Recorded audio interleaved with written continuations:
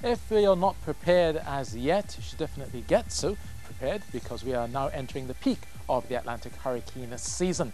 At this time, between mid-August and late October, we tend to watch uh, from anywhere from uh, the Cape Verde Islands across the Caribbean and up towards the United States for any tropical cyclone development. But right now, we have the tropical storm Josephine, which is set to pass towards the north of the islands. It will still likely bring a few showers around, particularly around the U.S. Virgin Islands, maybe towards Antigua, could be seeing maybe 25, 50 millimeters of rainfall here and some thunder showers, but most of the impacts will actually be well out to sea. And it will likely begin to weaken as it enters uh, the north of the island chain. We could be seeing uh, some southwesterly shear there, obviously adding to the possibility of this system weakening further, possibly becoming a depression as it goes through the weekend, and then eventually push towards the north finding a weakness in the subtropical ridge and eventually pushing towards the northeast once it gets further towards the north, getting pushed in by those mid-latitude westerlies. So right now across Trinidad and Tobago, all we have had is some weak instability caused by the passage of a Josephine well out to sea, posing no direct threat, but we have been seeing a few pockets of cloudiness here and there, and also the lighter winds have allowed the daytime heating to spark some of those showers. And those conditions will likely exist as you go through your Saturday, but there will be some Saharan dust as well, a bit of haze as well pushing in. So we could be seeing some hazy conditions on Sunday, and then yet another tropical wave will arrive on Monday and Tuesday, bringing us some showers and some heavier downpours by early next week. But right now across Trinidad and Tobago, for Tobago tonight,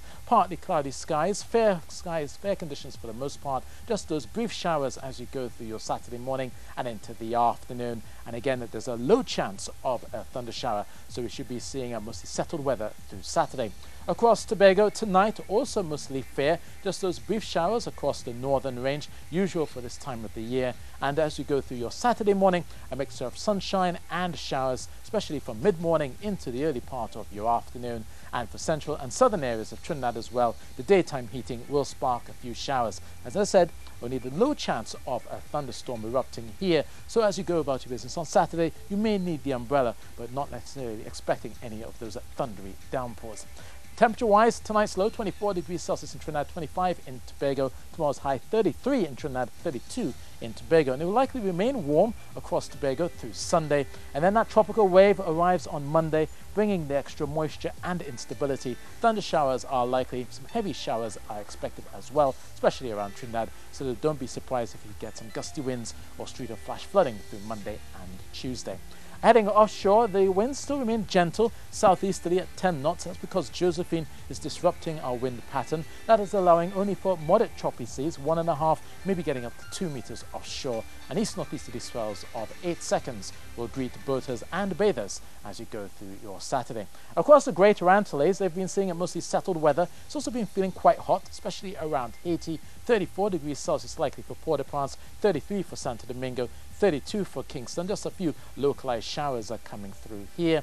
And for the Lesser Antilles, the Leeward Islands will still see some showers coming out of a Josephine, but no direct impacts are expected from that system as it should pass well towards the north. Meanwhile, for the southern Lesser Antilles, Windward Islands, just occasional brief showers here. And for Georgetown, partly sunny and a high of 33 degrees Celsius on Saturday.